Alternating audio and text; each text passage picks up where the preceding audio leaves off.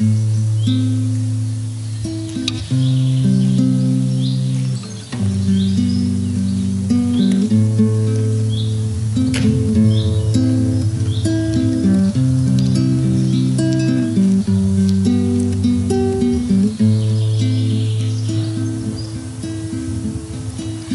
joy is like a spring so warm.